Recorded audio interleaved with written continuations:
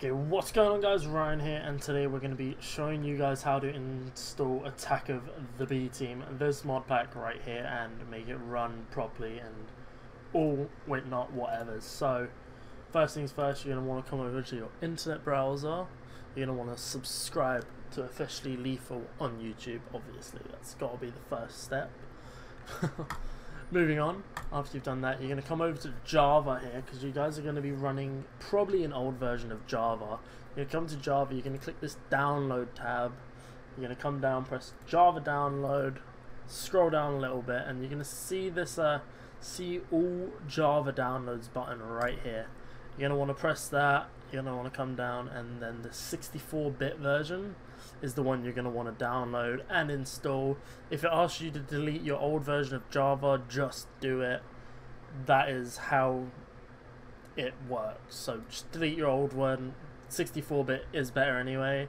Then you're going to come over to here. All the links are going to be down in the description. So www.technicpack.net slash download. Scroll your way down and then obviously install whatever version you have, whether it's Windows, Mac or Linux. And uh, after you've done that it will pop up on your home screen or in your downloads tab wherever you downloaded it really. And uh, you're going to open that up. Once you open that up it's going to take you probably start you off here I believe. You're going to come over to this mod packs tab. You're going to go to mod pack options and then you're to ignore that because you did it wrong and you're to come over to launcher options instead. Go to your Java settings and then for this you have to be able to allocate at least 2 gigabytes of RAM to play this. So I would suggest running a bit more. Uh, I'm running 5 gigabytes and it seems to run perfectly for me.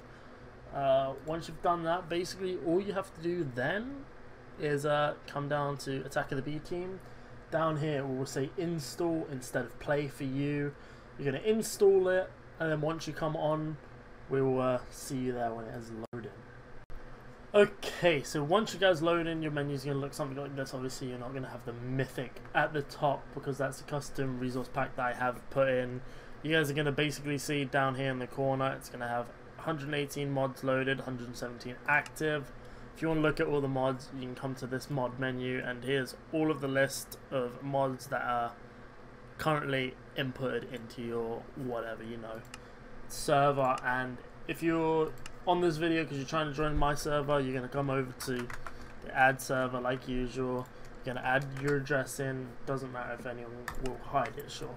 But it doesn't matter if anyone sees this because you need to be whitelisted to join the server. And as you can see SMP you're going to join the server it's going to log you in. It's going to take a little bit of time when you first log in because it is going to be laggy. And uh, this isn't going to be the world.